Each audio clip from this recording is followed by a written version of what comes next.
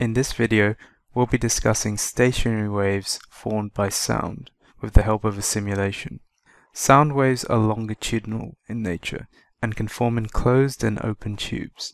This is a topic that's mentioned explicitly in the OCR A specification, but is also hinted at in other specifications, so it's worth understanding regardless of which exam board you're doing. To follow this video, you need to have a basic understanding of stationary waves, so you may want to check out our introductory video first. Here, you can see a tube with its left end closed and its right end open. This is known as a closed tube. Imagine that there's a speaker to the right of the tube, emitting progressive sound waves of a particular pitch or frequency which travel into the tube. These waves then reflect off the closed left end and travel back to the right with the same frequency and wavelength as the incoming waves. As a result, the two sets of waves superpose with each other. Since these waves are of just the right frequency, the result of this superposition is that a stationary wave develops inside the tube. We can understand this better with the help of a nice simulation. Here, you can see these blue circles representing air molecules oscillating inside this closed tube. What we're seeing here is a stationary wave pattern. If you look at the left end of the tube, you'll notice that the blue circles are not moving, meaning that the left end is the position of a node.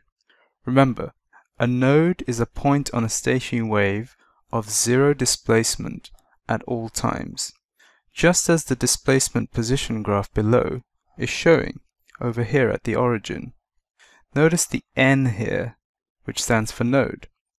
As we move away from the left end to the right, we see that the circles are oscillating in phase with each other at a certain frequency, and that their amplitude gradually increases as the graph shows. This black curve here, and its reflection down here, represent the amplitude of a particular particle of air at a certain position along the tube, while this moving red curve shows how the displacement of that particular particle changes over the course of time. We see that the particles at the right end of the tube are oscillating with maximum amplitude. In other words, there's an antinode at the open or right end of the tube. Notice the A here, which stands for antinode. This stationary wave pattern is called the first harmonic.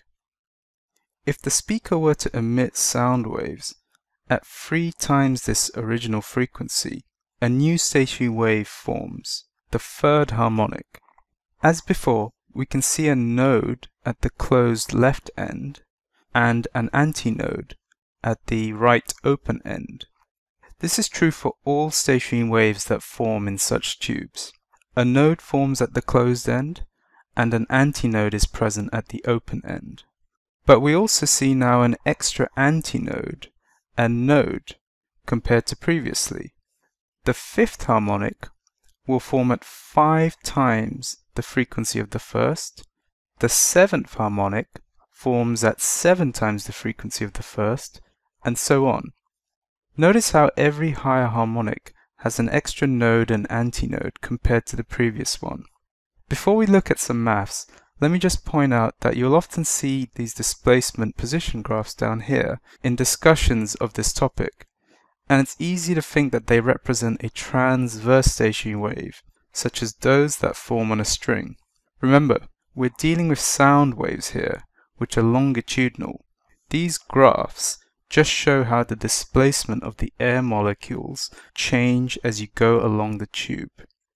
We can figure out the frequencies at which stationary waves can form. Let's call the length of the tube L. We know the distance from a node to antinode corresponds to a quarter of a wavelength, meaning that lambda, the wavelength, is equal to 4L. Using the wave equation, v equals f lambda, where v is the speed of the sound waves, we get that the frequency of this first harmonic, f1, is equal to v over 4l. If we look at the next harmonic, we see that three quarter wavelengths now fit into the length l, meaning that lambda is equal to 4l over 3. Using the wave equation again, we find that the frequency of this harmonic, the third, is equal to 3v over 4l, which is equal to 3 times the frequency of the first harmonic. Similarly, the next possible harmonics are the fifth and the seventh, which form at frequencies equal to 5 times and 7 times the frequency of the first harmonic. Notice that only odd-numbered harmonics can form in this system. This is because the stationary wave patterns that can exist here must have a node at the closed left end and an antinode at the open right end of the tube. Another way of putting this is that an odd number of quarter wavelengths must fit into the length of the tube. For example, in the fifth harmonic here, we can see that five quarter wavelengths must fit into this length L.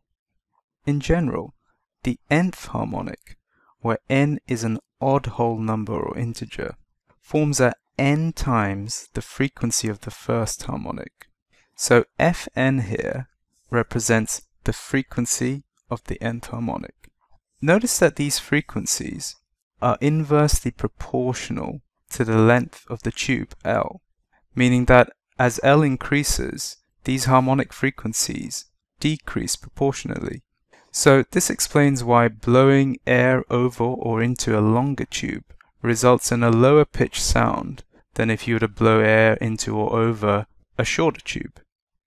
Interestingly, stationary waves can also develop inside tubes with both ends open, what are known as open tubes.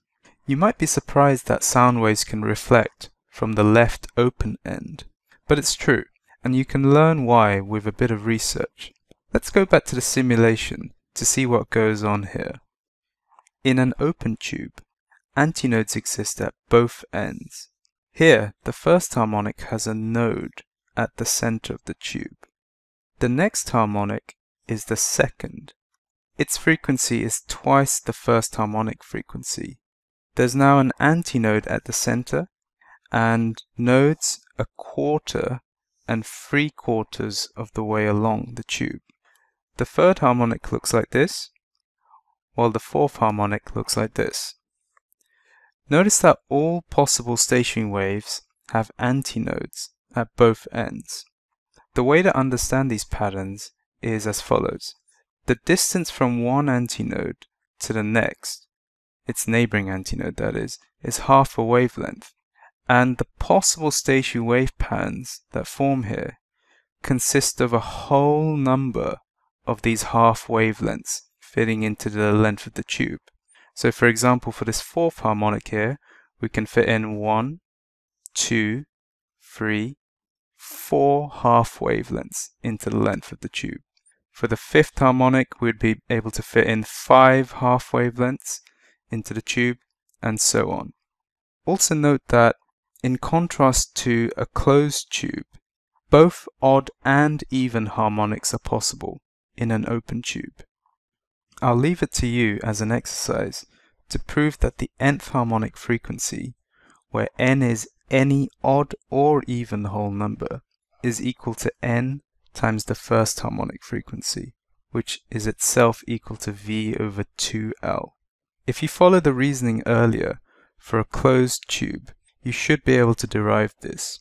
These expressions are in fact identical to those describing the harmonics of a vibrating string fixed at both ends, as you can see in our introductory video that I mentioned at the start. The physics of stationary sound waves in tubes forms the basis of understanding the sound produced by wind instruments, such as flutes, saxophones, didgeridoos, and so on. I've left some links in the description if you'd like to learn more about this. Let me just say that I'm grateful to Walter Fendt for letting me use his excellent simulation in this video, and that's also where I got a number of the images from. I've left a link to the simulation uh, in the description, so I highly recommend you check that out and the other excellent simulations on their site. If you found this video useful, please like it, share it, subscribe to the Forest Learn channel if you haven't already, and leave a comment if you have any questions or suggestions. Thank you for listening. Take care, and I hope to see you soon.